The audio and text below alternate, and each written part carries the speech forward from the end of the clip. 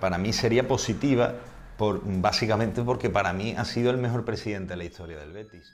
Y ya no es que lo diga yo, ya no es que lo diga yo, sino es que lo dicen los datos. Las plataformas han sido las grandes culpables de que el Real Betis Balompié en estos siete años mm, ya es que no haya crecido deportivamente, sino que es que mm, ha sido un auténtico espanto, tanto institucional como, deportivamente hablando, el equipo y el club, por supuesto.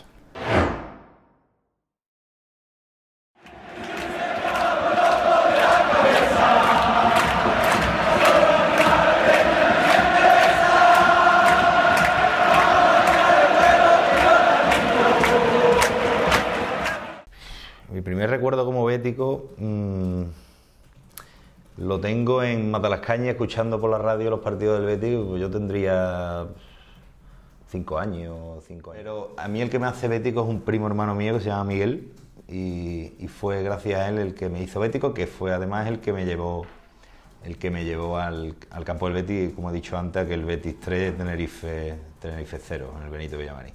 Muchas, muchas. La principal es la ilusión. Yo recuerdo ir al campo del Betis y, ser una fiesta aquello, ¿no? La gente cantando, contenta, muy alegre.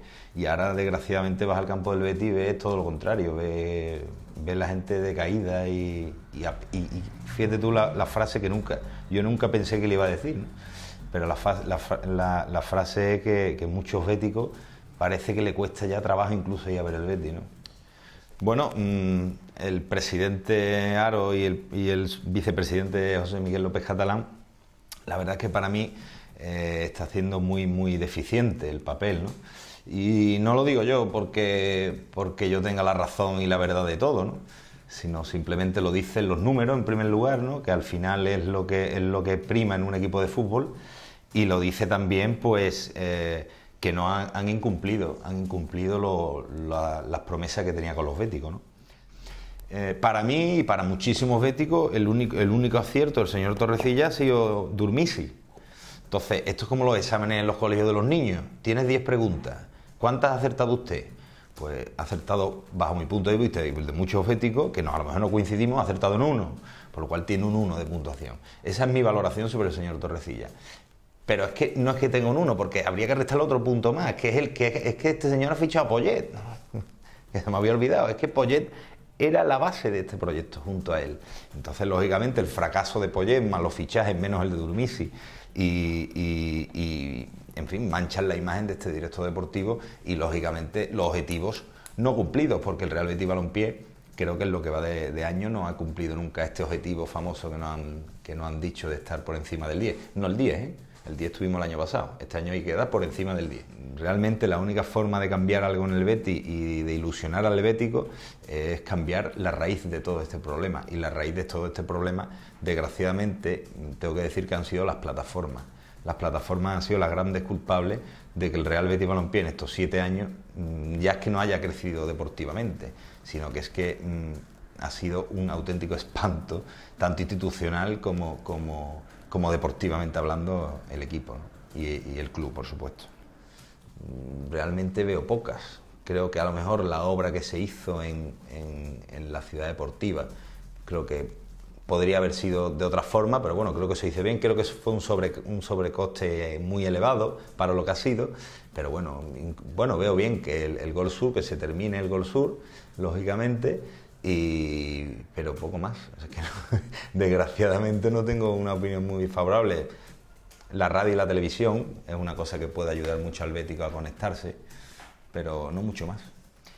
Bueno, yo lo primero que en el Betis creo, creo que lo, que lo principal de todo es meter béticos, muy béticos, gente que le guste mucho el Betis, que haya vivido el Betis, profesionales béticos, que lo hay muchísimo, aunque nos quieran decir que no, lo hay muchísimo, y lo que creo que aún es más importante, meter tanto en el primer equipo como en la cantera el veneno bético. Meter mmm, incluso jugadores antiguos que utilizaban ese veneno que necesita un niño para ser bético de verdad. Bueno, vamos a ver, yo para mí, y, y lo voy a explicar, para mí sería positiva básicamente porque para mí ha sido el mejor presidente de la historia del Betis. Y ya no es que lo diga yo, ya no es que lo diga yo, sino es que lo dicen los datos. El señor Ruiz de Lopera nos ha llevado varias veces a Europa. No, en, primer lugar, en el año 92 eh, pudo, pudo hacer que el Betis siguiera adelante cuando otros se escondieron y, bueno, por supuesto nos llevó en los mismos años que lleva esta gente en el club, mentira, un año menos, ya nos llevó a una primera final de Copa y ya no había llevado una recopa y a, y, a, UEFA. Quizás eso es lo que me ha hecho de menos, viajar con el Betis fuera de España y sentirme muy orgulloso de ser bético y demostrarlo por, por toda Europa como, como, lo hemos podido vivir en, en, la época, en este caso, del señor Ruiz de Lopera. ¿no? Y por supuesto los grandes jugadores y, tener buenos jugadores en el campo. Yo creo que la paz social eh, única y buena hubiera sido la que planteó el señor Ruiz de Lopera, que fuera un bético, pero para todos los béticos. Un reparto accionarial o una venta a un precio asequible de las acciones, que pagara ese acuerdo y que, y que al final no se pudo llevar a cabo, lógicamente, porque la intención de algunos era que el Betis fuera para cuatro. Entonces, mm, yo comparto esa opinión con el señor Ruiz de Lopera. El Betis para cuatro no, el Betis para todos los béticos. Cuando el Sevilla ha ganado, ha conseguido tantos éxitos seguidos, pues a mí me duele, ¿no? Pero a mí me duele ya no sobre todo porque sea un poco antisevista, que lo soy y bastante, lo reconozco, sino, sino porque yo me gustaría verme en ese lugar. ¿no? Y creo que el Betis tiene que mirar algo de cómo se hacen las cosas en otros lugares. Ya no digo en el Sevilla, sino en otros equipos. Y creo que no se mira.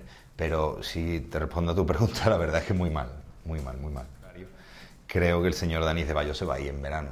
Tiene una cláusula muy baja eh, yo en este caso soy de la opinión de que si tú pones a un jugador de la cantera en escena, en, el escenario, tienes que tenerlo blindado de una de otra forma. Estos señores, el señor Dani Ceballos, lo pusieron en el, escaparate y no lo blindaron.